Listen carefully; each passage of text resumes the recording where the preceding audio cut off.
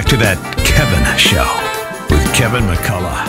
To the Dry Bar Comedy Stage we go, and Francis De Lorenzio. Comic's dream, right? Right? Doing a comedy special in Utah for 50 sober people in their fanciest hoodies ever. Oh, who and some even put on their fancy baseball caps. How'd you pick that one out? You're like, this is the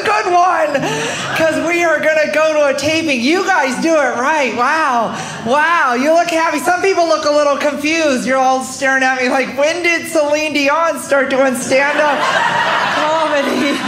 Everybody has been telling me I look like Celine Dion for years. Do I look like it every day? I'm Celine Dion, Celine Dion, and oh my gosh, I have to be honest. That makes me feel really like a little insecure because she hasn't been attractive since 1982.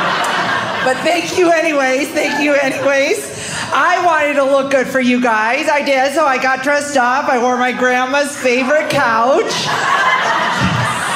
and combat boots. Oh my gosh, I am. Uh, I'm like a fashion influencer. I think. I think. I'm not sure. I'm working on it because I have like I've only been on Instagram for two years and I I already have 37 followers. Oh my gosh, I'm killing it. I know I have double that subscribers on YouTube. It's amazing.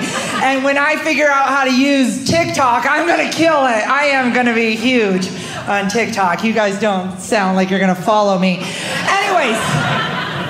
So I am excited to be here. I don't even know how to get dressed anymore. I have been such a homebody for the last year and a half, right? And so it's now it's like yeah, I'm trying to relearn everything. So I don't know if this looks good or not, but I have to be honest. I have mastered the homebody. I kind of love it, right? I love it. I got off the road. I stayed with my family for like a year and a half, and it has been so good. It's not that I'm lazy. I am. I am so into it. I like work out like crazy at home. I I do. I swim 20 laps a day. Uh, in my jacuzzi. And uh, I jog five miles every other month.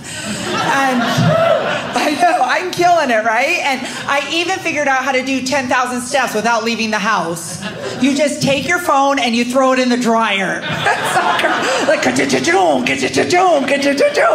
oh my gosh, one day I did 15,000 steps by accident, you know, because I didn't hear the, the buzzer go off. So I was like, oh man, I am so ahead of schedule. Look at that, look at that.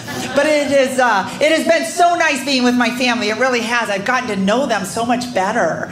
And I just love that. Like, I didn't realize this, but my husband is my biggest supporter. He, he is for my career. Every single morning, he calls my agent. I know without fail. He's like, oh my gosh, are the ships sailing yet? Are they sailing? I'll double your commission. I'll double. Okay, fine. How about a raft? Can you book her on a raft? She kills on a kayak. Just get her out there.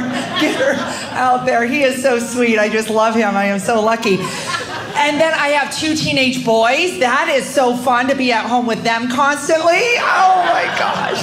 And I probably shouldn't brag, but they are, both of them are gifted. Not one, both. Both are gifted, like off the charts. And I mean, I didn't have them tested or anything. It's just, I know. It's just that whenever I tell them something, they're like, um, I know, we know, no kidding. Who doesn't know that? Everybody knows that, duh, you know, right? And I'm like, oh my gosh, you guys are so intelligent. You are. They are, they are so smart.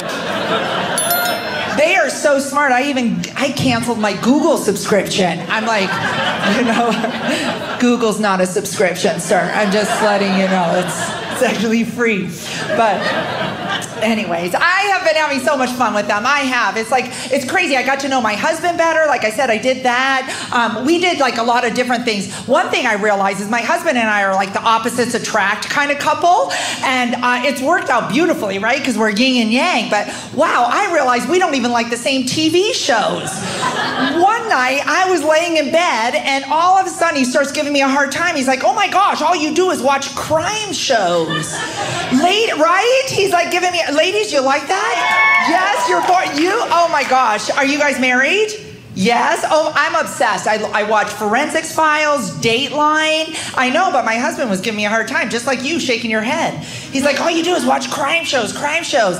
And at first I was like, okay with it, but then I got defensive. And I said, well, all you do is watch Survivor and Deadliest Catch. I know. I'm like, what's the difference? And he's like, well, the difference is you're taking notes.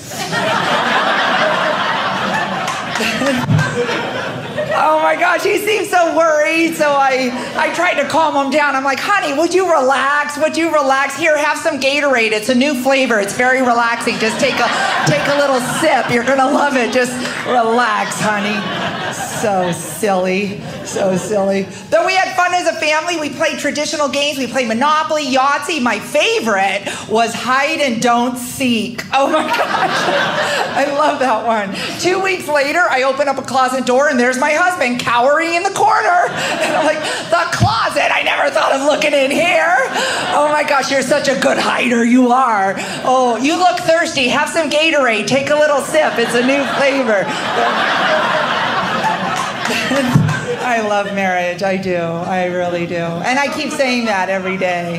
Just to keep it, you know, make sure it sounds authentic. That's what I'm doing. I I do. I say that all the time. I love being with my family, but I'm also torn. I'm a little bit of a homebody, a little bit of a go-getter, I'm a little bit of family, a little bit of like sometimes I want outside my family, right? Like I got I got you know, I had to take a little break from my family. I got so lonely. I wanted to talk to I'm a people person. I wanted to talk to somebody on the outside, right? And so, oh my gosh, one day I got so lonely I took my spam calls. Have you guys ever done that? I'm serious. I'm like, "Hello? Yes, this is she."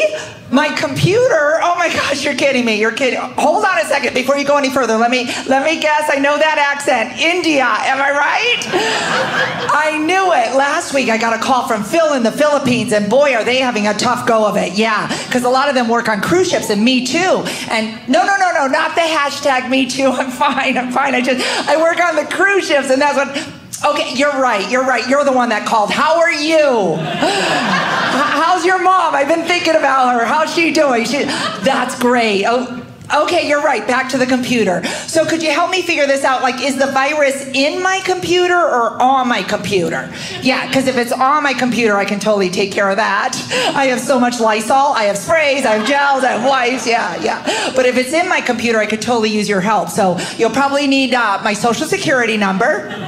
Yeah, and whenever you're ready, I'll give you my bank account and password because I just want to help you help me. Okay, so. Frances Dilorinzo on That Kevin Show. Coming right back. You're not, he'll be right back.